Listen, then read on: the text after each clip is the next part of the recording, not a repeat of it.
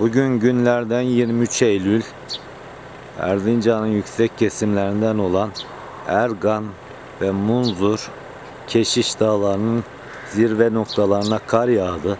Mevsimin ilk karı Erzincan'a düşmüş oldu.